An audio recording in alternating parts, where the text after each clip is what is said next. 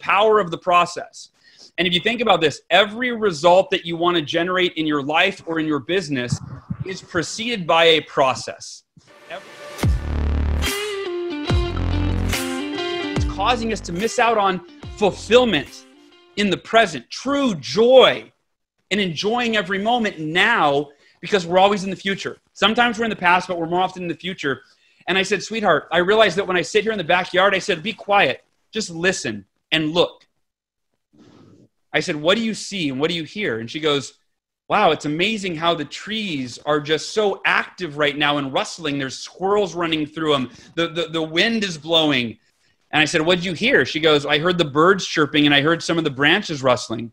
I said, Were you stressed about anything? Wow. She goes, No. I said, See, so every stress that we experience is, it's all in our head. Mm. And when you realize that what you really want is just to enjoy life, to enjoy the moment, these two decisions, when you couple it with that objective, which is, you know what, I'm going to maintain unwavering faith that I can achieve, accomplish, do anything that I want, that I can achieve all these goals. I'm going to maintain unwavering faith, but doing it knowing that it doesn't matter if I achieve them. Who hmm. cares? Right? I'm not attached to that outcome. And then you commit, you define what is the process. If you were to achieve those goals, what are the activities that you would have to do every day? The one thing each day that would move you a little bit closer. And knowing you might hit the goal, you might not, or might take an extra six months, whatever. But when you when you commit to those two decisions and then you ultimately decide, I'm going to live those decisions with no attachment. And my main objective is that I enjoy every moment of my life. Not when I get there, not when I hit that goal, not when I achieve this level of success, but right now when I'm sitting in the backyard staring at the trees, listening to the birds, or looking at all of us on Zoom. When the Zoom call goes, turns off, here's what I would encourage all of us to do. I'll do it too. You can choose your time frame. I'd suggest 10 minutes, five or 10 minutes. Do nothing. Do nothing. Mm.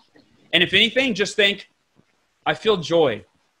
Here's a question, actually. Write this one down, you guys. My coach taught me this, and it's been a game changer. Whenever I'm stressed out, I ask myself this question What would be here now if there wasn't a problem to solve? Wow. What would be here now if there wasn't a problem to solve? And the answer is usually love or hmm. joy mm. or God or perfection. Or, just, or presence, just presence. Or I'm presence. actually present. Yeah. And whatever is there, whatever your answer to that question is, that's life. That's available to you right now in this moment. And I'd encourage you to take the next 10 minutes and just be with that.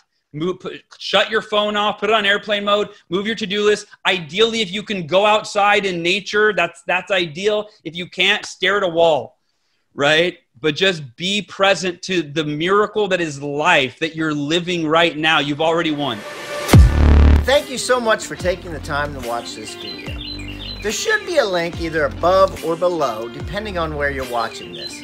Please click that link and follow the instructions. And don't forget, like and follow us on all our social media outlets if you've liked what you've seen here. And share this with anybody that you think would find it valuable. Thank you and have a great day.